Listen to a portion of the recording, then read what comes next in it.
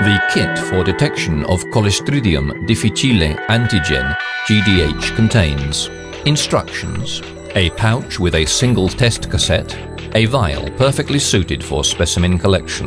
The test procedure for detection of Clostridium difficile antigen GDH is next.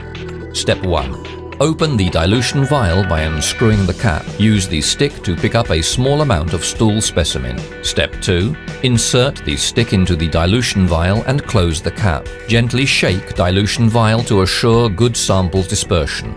Step 3. Remove the test cassette from the pouch. Break off the end of the vial.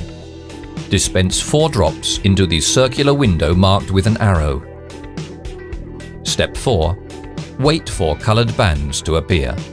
The results are visible within 10 minutes.